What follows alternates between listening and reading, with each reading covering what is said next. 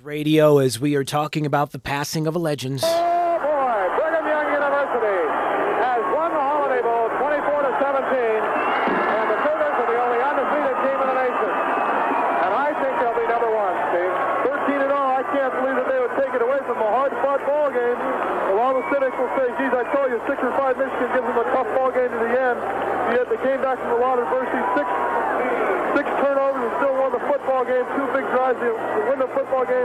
That's all I think you need to do to win the national championship is go 13 and 0. All right, final score: Brigham Young University 24, Michigan 17. That from 1984 and the win over Michigan. As we are talking this morning uh, about the passing of BYU football coaching legend LaVell Edwards. At the age of 86, Greg Wrubell is joining us right now on KSL News Radio, Director of Broadcast Media for BYU Athletics. Uh, Greg, your, your thoughts this morning on the news of the passing of Coach Edwards? Well, it's it's uh, a day um, that that takes me back to my freshman year as a BYU student um, and my first ever interaction uh, with with LaVell Edwards when he was just a legendary name to me at the time, and I was asked to uh, catch up with the coach to grab a soundbite for one reason or another. Uh, for the campus uh, TV and radio station. I was working down at uh, KBYU at the time, and and from that interaction to the most recent one, uh, he was uh, he was the same. He was the same wonderful man, and uh, everyone will be sharing stories today, and and the common thread will be uh, of his graciousness and kind-heartedness and humility. At the same time, he was helping to create um, you know, a college football powerhouse of the time.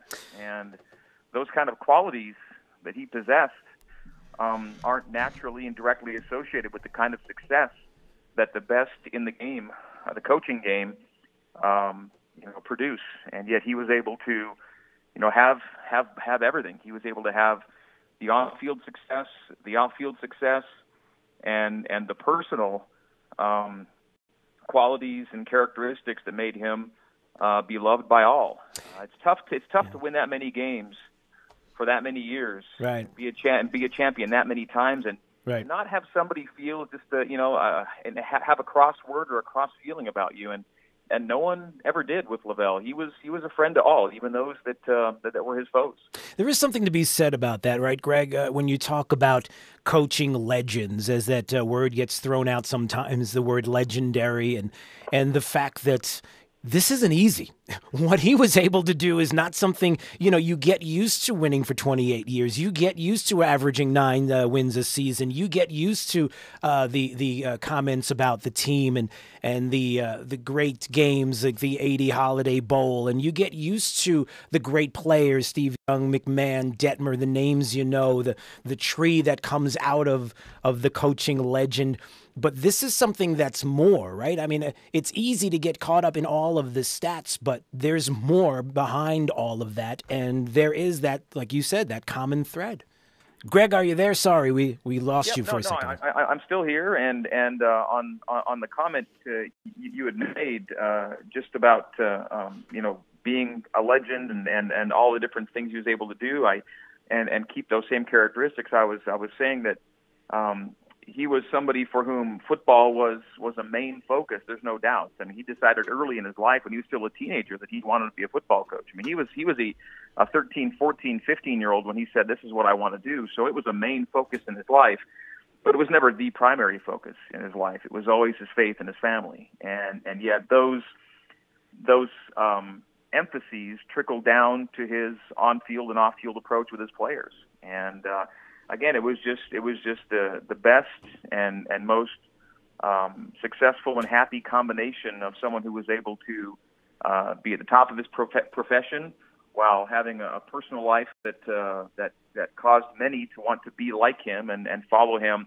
where he would lead them. And and the stories are many and the stories are numberless, and you'll hear a lot of them today and again, they're all going to sound very similar in terms of uh, of their impressions of this uh, of this wonderful man. Yeah, Greg Wrubell joining us this morning on KSL News Radio, director of broadcast media for BYU Athletics, as we talk about the passing of BYU football coaching legend LaVell Edwards uh, at age 86 and you know, so many things you can uh, speak to directly. Uh, must have been incredible for you, and and knowing uh, the the history, like you mentioned, of, of about this uh, the school and and and coach, and and then being a part of it, and even taking the position that you're in right now. It's uh, it's yeah. it has to be special for you.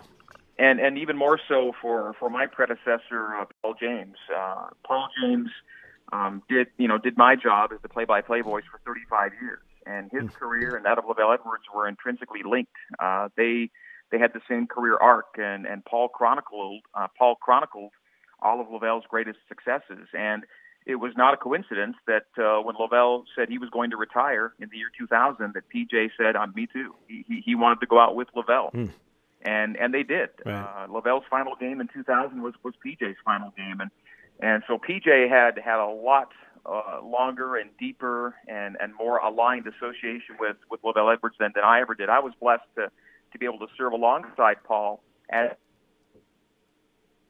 oh, we lost Greg again.